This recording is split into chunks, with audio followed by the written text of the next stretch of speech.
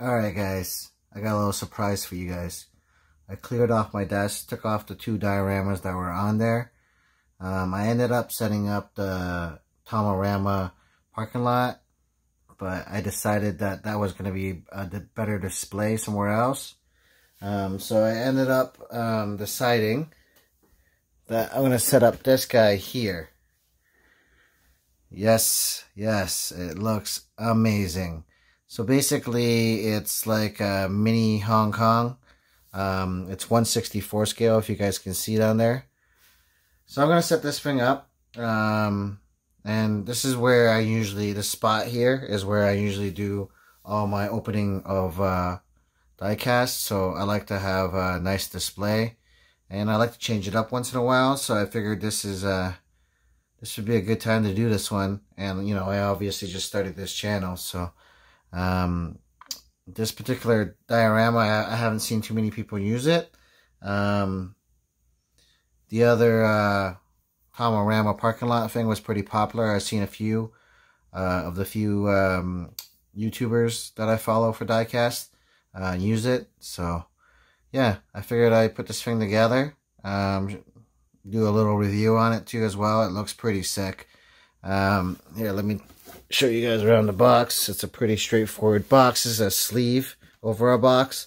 But you guys can see, you guys can get other buildings and stuff like that.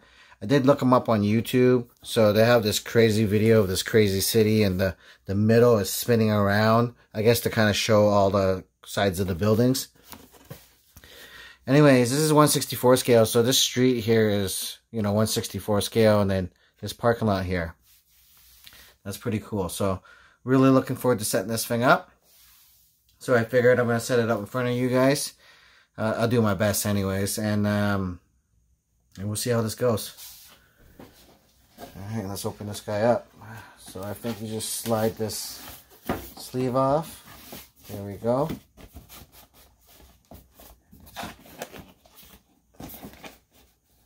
It's uh it's very tight. And I'm at a weird angle because uh, I don't want you guys to miss out on anything. So just in case you want to buy this, um, it's not that cheap, but we'll see um, if it's worth the money or not in a second once we actually get the sleeve off. Show you guys what's in there. Bunch of stickers. Alright, we'll take them out slowly here. So these are all the stickers. It looks like this could be the instruction manual in there. Check it out in a second. See what's in here. Okay, so we got first bag. Bags of little parts. Wow, okay. This is uh this might be a little harder than I thought. A couple more little parts. Put all little parts over in one spot. More little parts. Wow, this is uh this might take a while, guys. You guys will have the magic of uh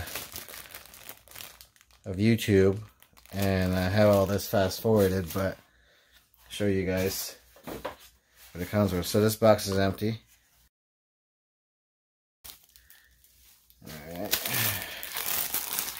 Alright. Just a baggie of more more stuff. This looks like uh, the road. So we'll put that there. A couple of the buildings here. Here's one of the buildings. Okay. Okay, so I guess that stuff just snaps on in the bags to detail the buildings.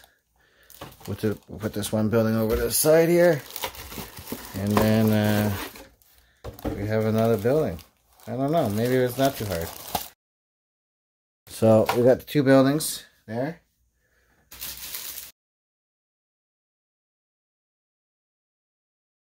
Alright, check it out guys. These are all stickers too, so you can make your storefront. Damn, that's like straight up Chinatown. You guys, you guys don't know, but I am Asian. Uh, and legit, that looks like Chinatown. Alright, I mean, like, you don't have to be Asian to know what Chinatown looks like. Obviously, you can take a walk down there if you like, but... Alright. Wow. I suck at sticking on stuff, so... Um, that might be another video. I'm not gonna go all out, go all out and start sticking all these stickers on too, um, unless I, I need to. But then this video is gonna be like a three-parter. wow. Alright, I don't see any instructions yet. Oh, here we go. Alright, there's the instructions of how to put the buildings together when they're pretty much all already put together, but... Okay, there we go. Okay, there you go. The instructions of the streets. Okay. We're going to need that in a second. Let's keep looking at all the stuff that's in the bag. This looks like a parking lot. Looks like a little patch of grass or something.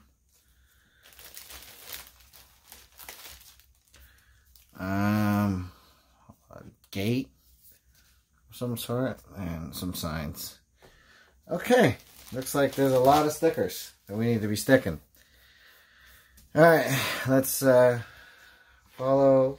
Please follow the diagram to assemble the street parts. All right, so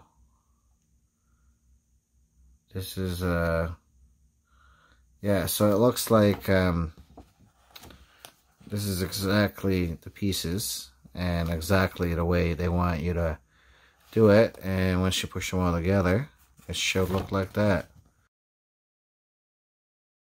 Alright, well, we won't be sticking the stickers on. We'll just be putting it all together. And then we put the building on. Alright, cool. Let's, uh, let's do that.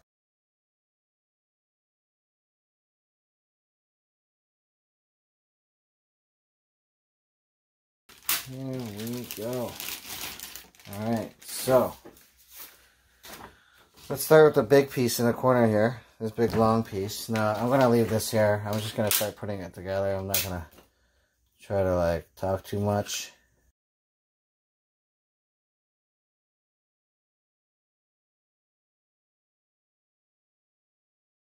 Uh, but yeah, once I get all the stickers down,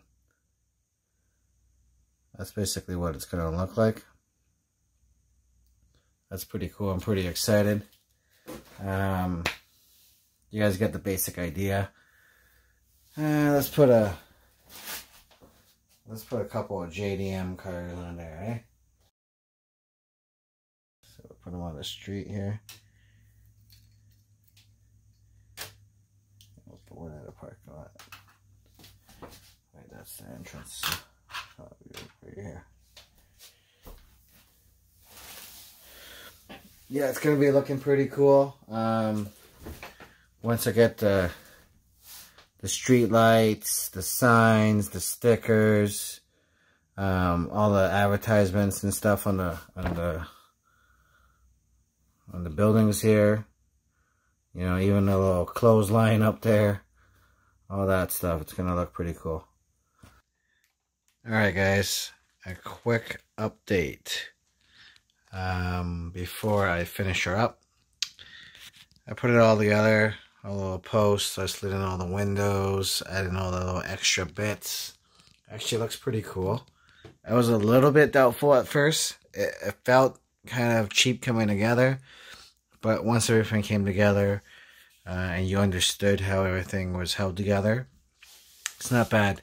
Uh, it's definitely not a kid-friendly uh, diorama, so I definitely wouldn't recommend that. But uh, we're to be sticking these stickers on there, and then the city's to come to life. But uh, yeah, it looks pretty cool already. Give you guys a quick... I like uh, how three-dimensional it is, so that's pretty sweet.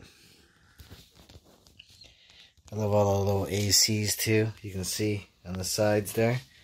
Anyways, just a quick uh, walkthrough and then we'll be right back with the with the stickers on there.